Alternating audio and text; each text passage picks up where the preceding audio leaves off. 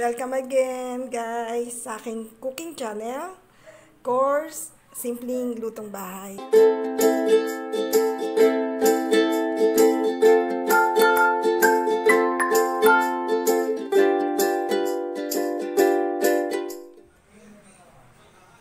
Hi guys!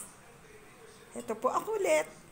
Today, ang gagawin natin, napakasimpleng ice cream cake. Gawa lang po sa lemon square, cupcake, yan po.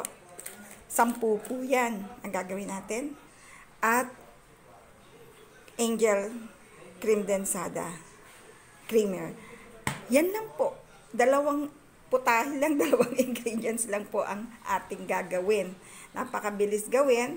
Meron na po, pag natapos yan, meron po tayong masarap na ice cream cake gawa sa lemon square, cupcake at cream densada. Sige po, balik tayo po mamaya. Pakita ko sa inyo kung paano natin to gawin.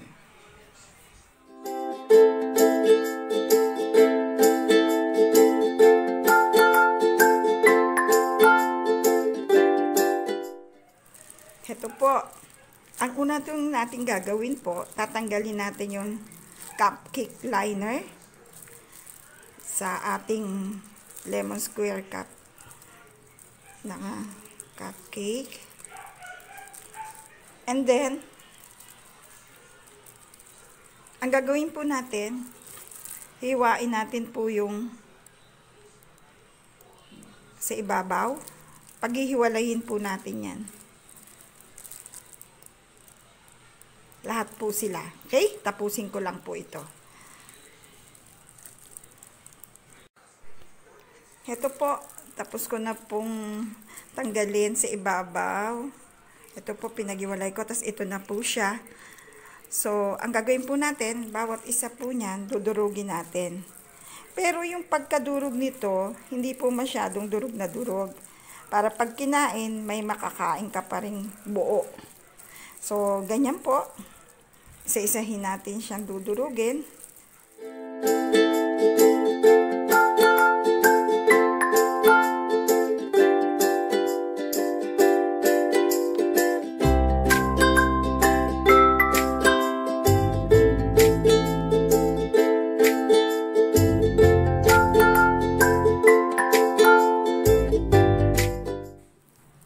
Heto po. Akin ang tapos durugin. At ito naman po yung sa ibabaw. Dudurugin po rin natin. Magkahiwalay po. Kailangan po kasi itong hiwalay kasi ito po yung pinakatapping sa ibabaw sa gagawin natin.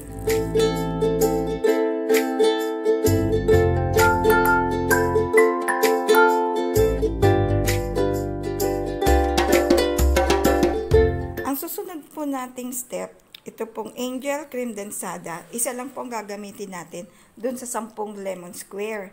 Ngayon, pinalamig ko ito sa rep para tumigas siya. Ang purpose nun, para matigas siya sa loob, para mag-double size siya pag ginamit natin ng hand mixer. So, ibubusan natin dito sa bowl ko to. Yan o, buo siya guys. Kasi nirep ko siya. Ah, yan ang purpose niyan. I-rep nyo muna para tumigas siya. Para mag-double size siya. Pag ginamitan natin ng hand mixer. Heto,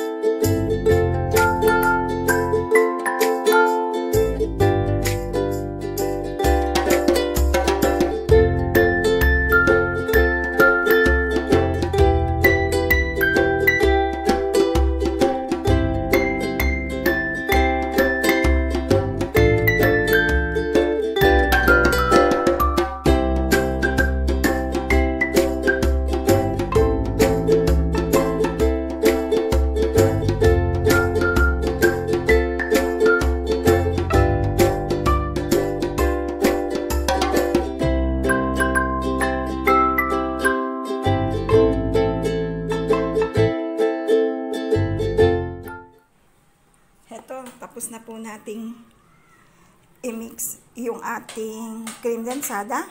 Nag-double size po siya. Heto na po. Bali, ang gagawin po natin.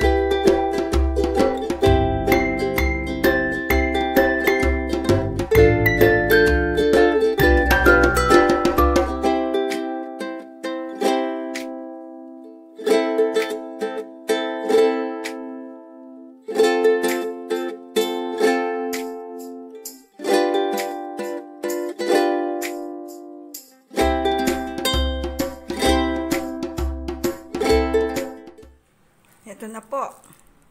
Tapos na po natin gawin. Ito na po yung pinaka-toppings natin. Ilalagay po natin sa ibabaw.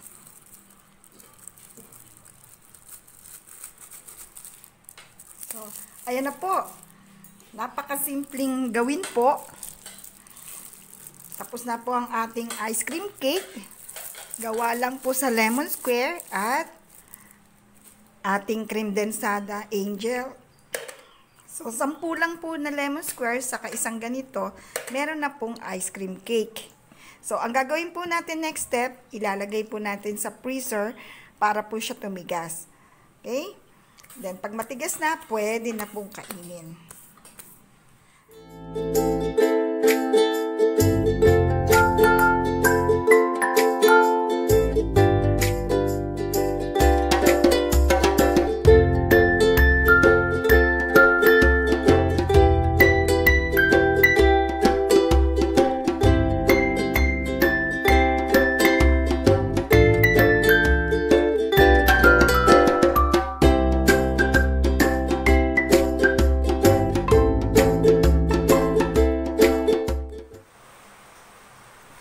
Ito po, pinalamig ko na sa freezer.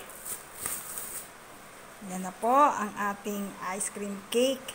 Gawa po sa lemon square at cream densada. Dalawang ingredients lang po yan. Napakabilis gawin. Yan na po. Pwede po itong pang araw-araw na dessert.